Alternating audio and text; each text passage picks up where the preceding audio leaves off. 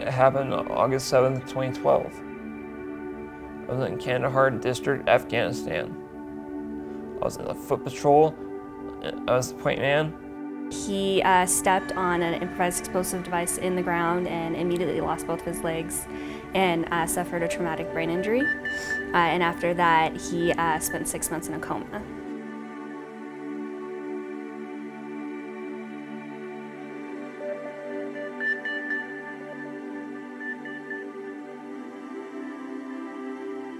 When Alex was uh, first injured, they were worried about keeping him alive, and he ended up getting a stage 4 pressure ulcer, and so he can't sit for long periods of time without severe pain.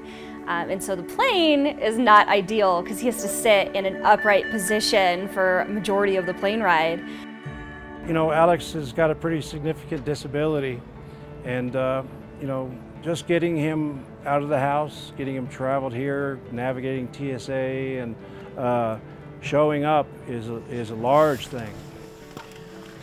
Veterans like Alex and his spouse and caregiver, Kim, they are what drive the VA and DAV in coming back every year in our partnership to deliver the Winter Sports Clinic.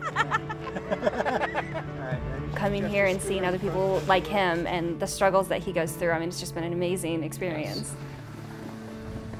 Was it fun? Because you like to go fast Yes. down the hills. Like Ricky Bobby, I like to go fast sometimes. Uh, the biggest surprise. Do you have a biggest surprise? yes, my, my crash. the biggest surprise was your crash. Yes.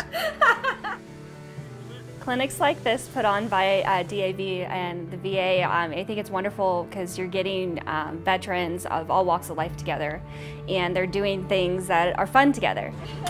Alex uh, embodies the spirit of the Winter Sports Clinic, his resiliency and uh, his ability to get out there and do it, even when it's real hard, is the spirit of this event. And, and that's why Alex is our Freedom Award winner this year.